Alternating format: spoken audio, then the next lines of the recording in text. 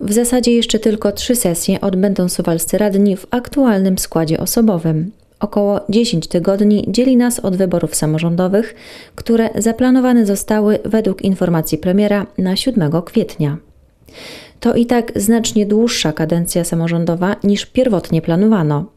Według wcześniejszego kalendarza wyborczego aktualni radni powinni zakończyć swą pracę jesienią minionego roku. Jednakże zmiana przepisów z 2022 roku kadencję wydłużyła o parę miesięcy. Kadencja pięcioletnia dotyczy również włodarzy miast i gmin wyłanianych w wyborach bezpośrednich.